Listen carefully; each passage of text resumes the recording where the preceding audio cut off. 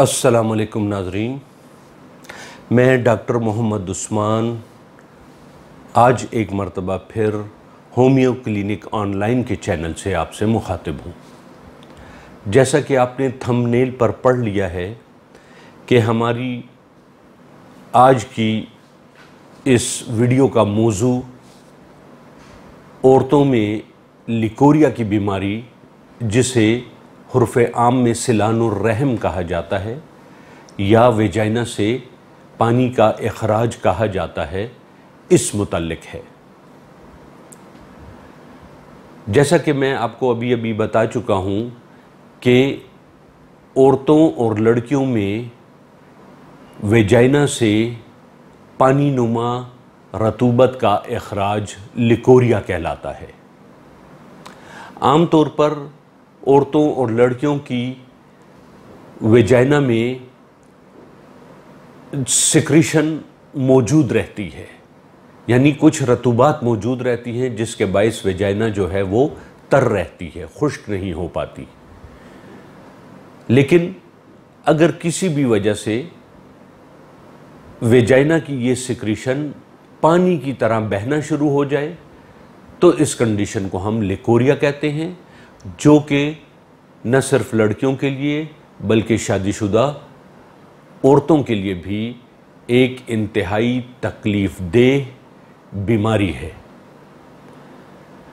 आम हालात में लिकोरिया जो है, वो औरतों की या लड़कियों की वेजाइना में मौजूद एक ख़ास किस्म के जरासीम, जिनको हम लेक्टोबेसिलस एसिडोफिलस बैक्टीरिया कहते हैं, उनकी वजह से होता है।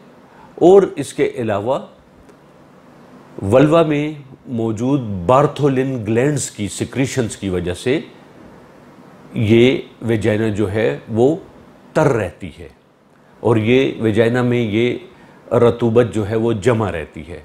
इस रतूबत का फ़ायदा ये होता है कि बाहर से दाखिल होने वाले कोई भी माइक्रोब्स, बैक्टीरिया या दूसरे किस्म के जरासीम, वो अंदर नहीं दाखिल होने पाते और लेक्टोबेसिलस एसिडोफिलस बैक्टीरिया जो कि एक एसिडिक किस्म की, मामूली एसिडिक किस्म की सिक्रीशन बनाते हैं, उसमें ये जरासीम ज़िंदा नहीं रह जाते और उस तेज़ाबी सिक्रीशन में उनकी जो है वो मौत वाक़ हो जाती है।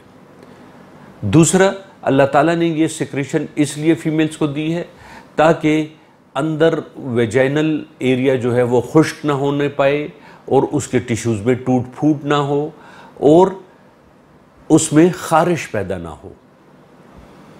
और तीसरे, बेशक इस वजह से भी अल्लाह ताला ने वेजाइनल सिक्रेशन दी है ताकि ड्यूरिंग सेक्सुअल इंटरकोर्स जब मर्द का पीनस जो है वो फीमेल की वेजाइना में दाखिल हो तो फीमेल की वेजाइना के टिश्यूज़ में तोड़ फोड़ ना हो। यहाँ तक कि बच्चेदानी का लोअर हिस्सा जो होता है, जिसे सर्वेक्स कहते हैं, उसमें किसी किस्म की तोड़ फोड़ ना हो और फीमेल्स जो है वो इंजरी का शिकार ना हो। तो देखिए, अल्लाह ताला ने कितनी बेहतरीन चीज़, क्या बेहतरीन निज़ाम रखा है।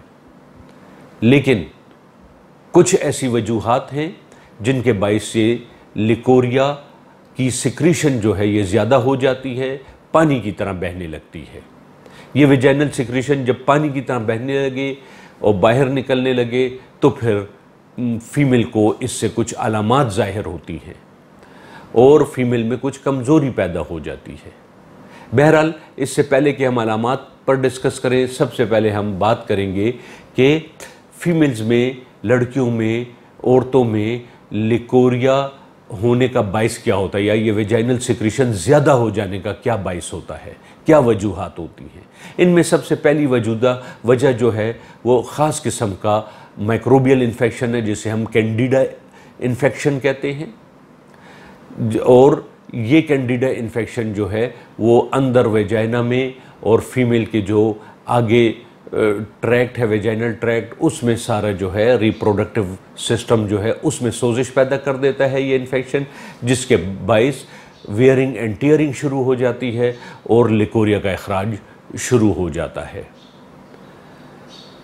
इसी तरीके से दूसरे भी इन्फेक्शन हैं जो कि वेजाइना में अगर हो जाएँ तो इन दूसरे इन्फेक्शनों की वजह से भी लिकोरिया हो सकता है। लेकिन कैंडिडा एक बड़ा कामन और आम इन्फेक्शन है। इसके अलावा फिर फीमेल में ज़्यादा सेक्सुअल तहरीक हो पैदा तो उससे भी लिकोरिया का अखराज हो सकता है। इसके अलावा बोझ वज़न का काम करने से, जब कोई फीमेल्स अपनी बिसात से ज़्यादा बोझ और वज़न उठाएँ तो उससे जो है इंट्रा एब्डोमिनल प्रेशर प्रोड्यूस होता है नीचे की जानब, और इस तरह लिकोरिया का अखराज शुरू हो जाता है। या ऐसी फीमेल्स जो पैरों के बल ज़्यादा बैठकर काम करें, जैसे आटा गूंदना, झाड़ू देना, या कोई ऐसा प्रोफेशनल वर्क करना जो कि पैरों के बल बैठकर करने से हो तो उससे भी जो है वो पेल्विक आर्गन्स पर ज़ोर पड़ता है। पेड़ू में जो ये आर्गन्स है, बच्चेदानी है फेलोपियन ट्यूब्स है सर्वेक्स वगैरह है तो इससे भी जब ज़ोर पड़ता है तो इससे भी लिकोरिया का अखराज शुरू हो जाता है। तो बहरहाल वजूहत कुछ भी हों, लिकोरिया का अखराज फीमेल्स के लिए इंतहाई तकलीफ़ का बायस बनता है और कमज़ोरी का बायस बनता है।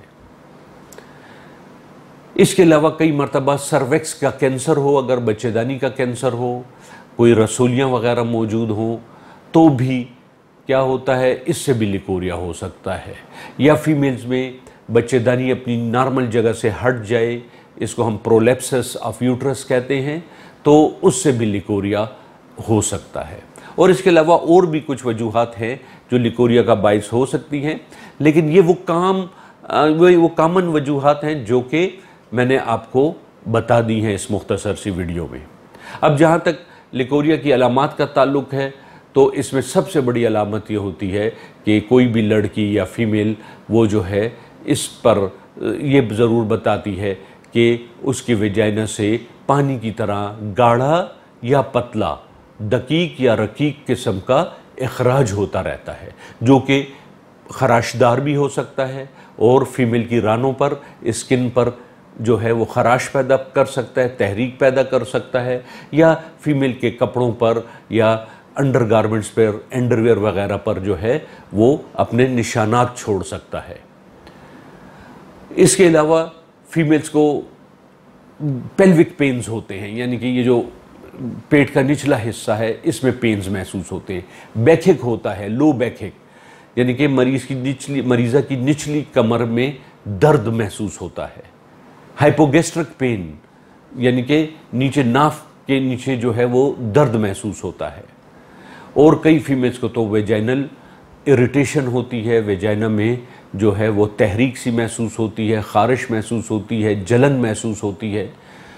और यहाँ तक कि कई फीमेल्स खौफजदा हो जाती हैं कि खुदा न खासा उन्हें कहीं बच्चेदानी का कैंसर तो नहीं हो गया है। लेकिन हर लिकोरिया कैंसर नहीं हुआ करता कैंसर एक बहुत एडवांस किस्म की बीमारी है और उसकी तशखीस के लिए बड़ी महारत की ज़रूरत होती है। लिहाजा ख़ुद से अंदाज़ा कर लेना और वहम में मुबतला हो जाना, ये बिल्कुल दुरुस्त नहीं है। इसके साथ साथ फिर फीमेल्स को सुस्ती छाई रहती है, तमाम जिसम में दर्दें महसूस होती हैं इवन बुखार सा महसूस होता है और इंतहाई नकाहत और कमज़ोरी महसूस होती है और फीमेल्स की सेहत बिगड़ती जाती है और दिन ब दिन वो सुकड़ती जाती है, उसका वज़न कम होता जाता है, चेहरे पर जो है वो अजीब सी पीलाहट आ जाती है, नकाहत आ जाती है, भूख नहीं लगती और उसकी सेहत दिन ब दिन मुतासर होकर गिरना शुरू हो जाती है।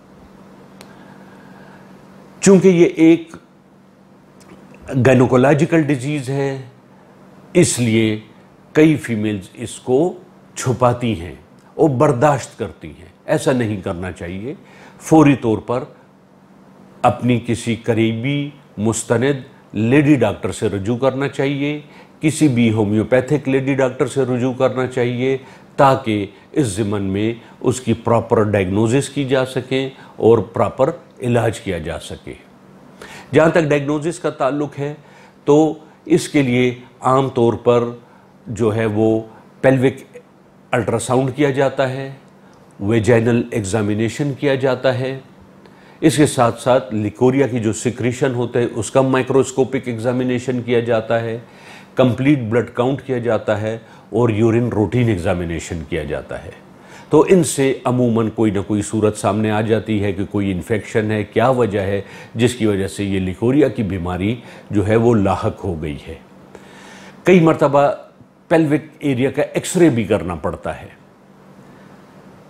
इसके साथ साथ जहाँ तक इलाज का ताल्लुक है तो होम्योपैथिक तरह के इलाज में इसकी बहुत ही तीर बहदफ बेहतरीन दवा मौजूद है, जो आप किसी से मशवरा किए बगैर किसी भी होम्योपैथिक ड्रग स्टोर से ले सकते हैं।